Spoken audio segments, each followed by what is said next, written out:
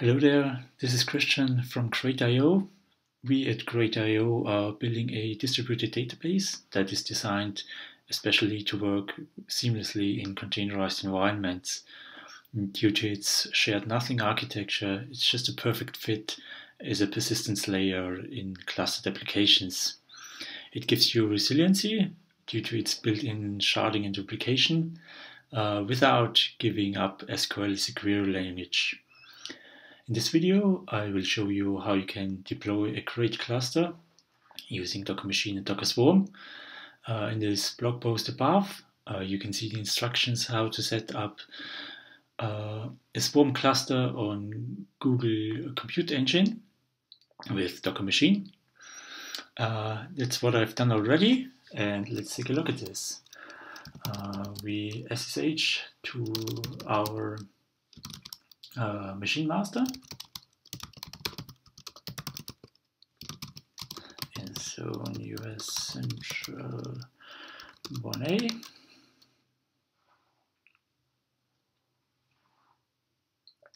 Where we have Docker machine already installed. And uh, we see we have uh, five nodes.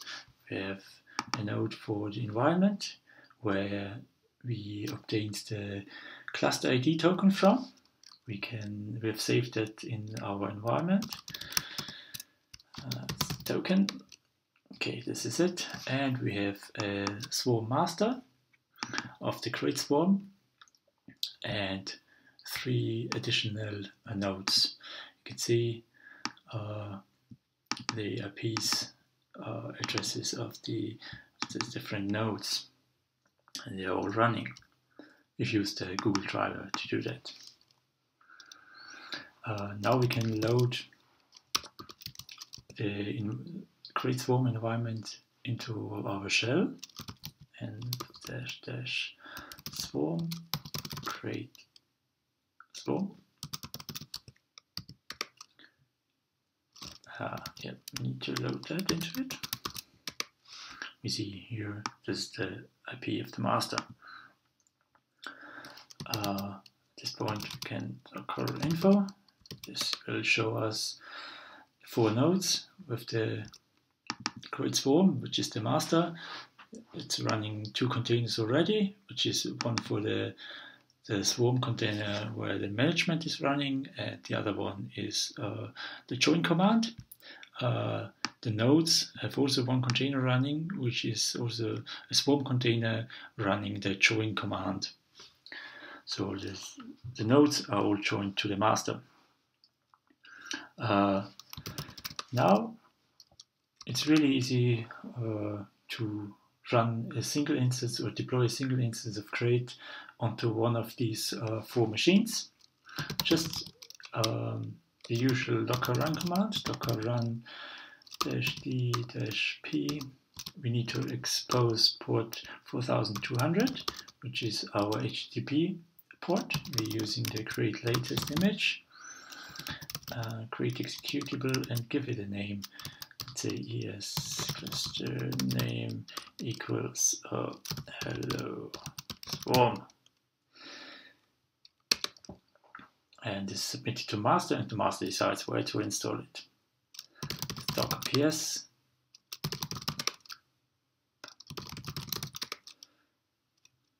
okay. Might take a little bit of time to get response. Um, uh, now now here we have it. It's running uh, on the machine 104 154 9389 exposed on port 4200. We can uh, verify that with the curl command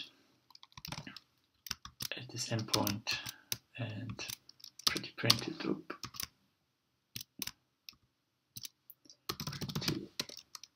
Okay, we can see it, the crate instance is running and to verify it even further we can say exposed to our under SQL endpoint and um, query the cluster, the node, just a JSON object statement uh, and select ID name, host name from sys nodes. I'll make it, make it prettier.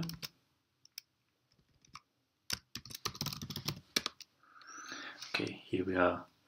ID, the node name, and the host name, which is the host name of the Docker container where crate is running in. Docker ps. Let's stop this again. Docker stop. And remove the image. Okay, so how do you do you deploy a cluster then?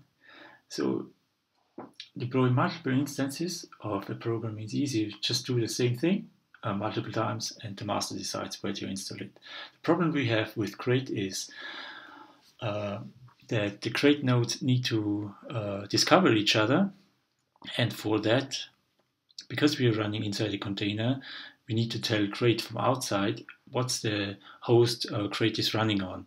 This is currently not uh, possible to do with Docker Swarm directly, so we need to do it a little bit differently, and I've created a script, which is also available at the end of this blog post.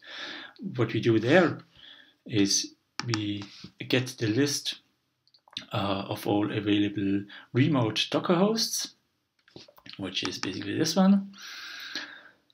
Um, and we, we iterate in this loop, we iterate over all the hosts, uh, and then we know uh, we can uh, we can execute the docker run command and pass the pub host, the publish host, to crate. So we don't uh, use uh, Docker, so we use Docker with the uh, remote host option enabled and not directly. The other options are um, we disable multicast, we set the publish host as I already said, uh, we need to set all the unicast hosts so the nodes can discover each other. And we also have minimum master node which is uh, half of the nodes plus one so you have a quorum. And when we uh, deploy that when we execute it mm, okay.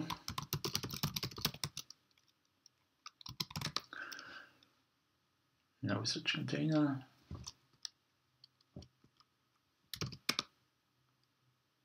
okay. Now we found it. We run um, swarm list with uh, our token and it returns uh, a list of all the remote hosts over which we iterate and run uh, the docker run command on each of these uh, docker hosts on these docker servers. And the individual run commands are like here docker-h tcp this is the host and run crate crate crate and we do that four times. Let's wait until this is, until this is finished.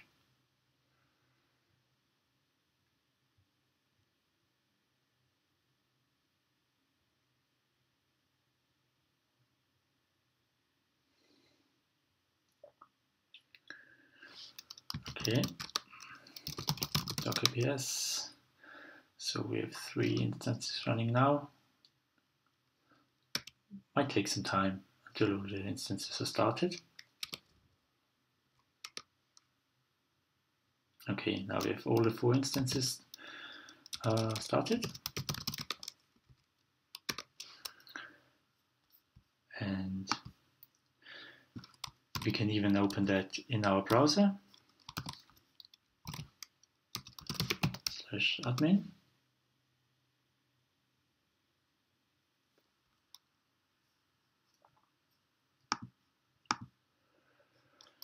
So it's only one node yet.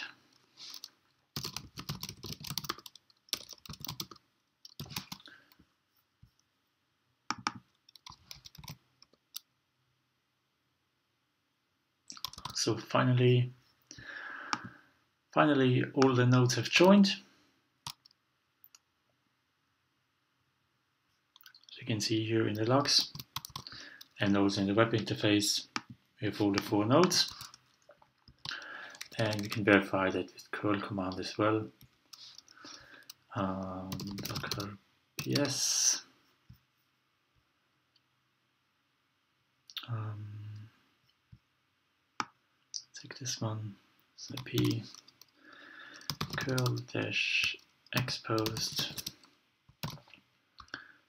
underscore SQL pretty dash d payload again.